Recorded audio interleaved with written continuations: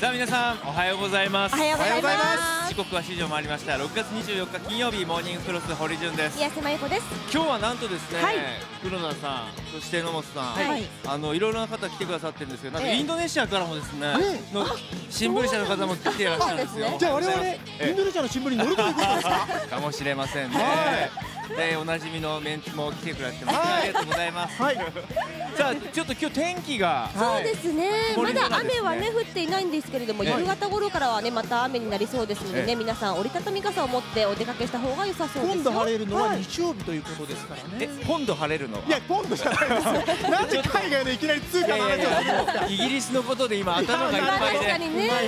大勢判明は今日のですはねい。まあお昼頃なんですけどはい。すでに世論調査の結果でやや残留の方が上回っているということはい。でそれこそ今度がはい。はい。急進。はい。落ちてたのが上ってきてます。で円安傾向になってますもんね。そうですはい。ねはい。さあそんなところでみんなの意識調査今日のテーマ見ていきましょうこちらです。さあ日本国内では参院選真っ只中ですね。はい。皆さんが投票の際に参考にするのはどれですか？政見放送街頭演説党首討論などですね。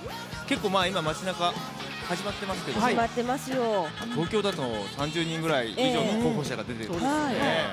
皆さんのどういう点で選ぶのか教えてください、さあウェブ上でどのようなニュースが話題になっているのか見てみましょう。こちらですさあ海外ではやっぱりイギリスの投票の問題国内では参院選ということですけどもそれぞれいかがですか？西田さんはお忙しそうですね。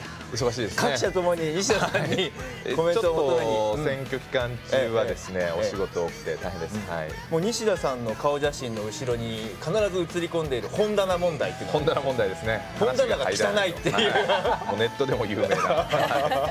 皆さんいかがですか？今日今日関西方面選挙盛り上がってます、選挙もぼちぼちやっぱ大阪維新の会とかが出てきてるから、はいはい。またえ状況変わってきてるなっていうのはあるんですけど、えあのー私も東大卒業して弁護士やってますけど、はいはいはい。なんかそういう肩書きに騙されずに、ちゃんと中身を見て投票してほしいなって私が言うから間違いないです。は西畑さんいかがですか？いや本当にね EU の選挙と、はい。えー今度参議院と18歳ここに加わりますからね、ええ。僕らもほら職場にいますからそのぐらい年齢の子らが、え。学生たちがね。僕ら僕らでねいろいろこう「えー、行きや」とかちゃんとって言ってこうケツ叩いたりしましたけどね。大人がまずしっかりしなきゃいけないですからね、さあ皆さんは参院選で何を参考にして投票に行きますか？せーのドン。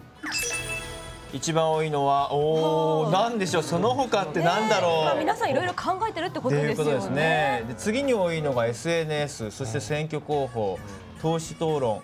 意外に街頭演説36票街頭演説やるのに一番お結構お金かかったりするでしょ？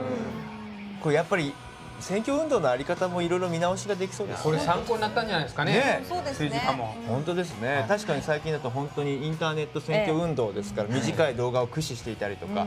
まあぜひぜひ注目していきましょう。さあ西田さん一言。はい。本当は憲法改正前にね、そういう選挙の議論があればよかったんですけど。ね。そうですね。ということで、皆さんぜひまたお待ちしておりますので、い、ろいろ問題提起よろしくお願いします。今日は夕方以降にしとしと雨が降ってきそうです。折りたたみ傘持って行ってください。それでは来週また明日明日7時にお会いいたしましょう。月曜日。月曜日です。この番組はイオンの提供でお送りしました。